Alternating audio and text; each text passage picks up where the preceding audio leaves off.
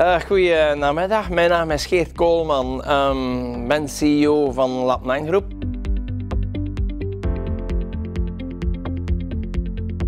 In, uh, in 8 of 99, want het was nog de tijdperk van de faxen.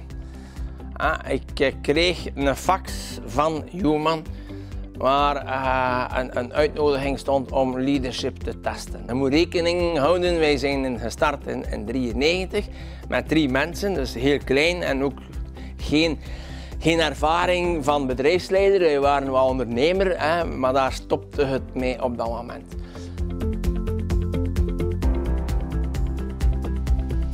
De eerste ervaring was zeer goed. Hè. Toen ik hier team 1 uh, kreeg, ja, dat was... Uh, ja, dat was eigenlijk wel een soort openbaring, een andere kant van jezelf dat je leert kennen.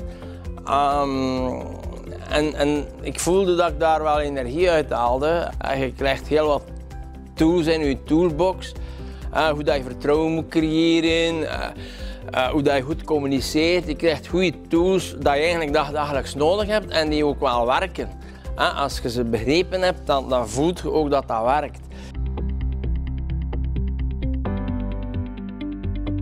Absoluut. Eh, nu, die training ehm, die is niet bij ons niet voor iedereen weggelegd, dat is duidelijk. Mensen zijn die, die een ambitie hebben binnen het bedrijf, die ook openstaan voor dit soort trainingen. Hè, die, want dat is, is, een professionele training, maar je kunt dat ook in je privéleven gaan gebruiken, de techniek die je leert.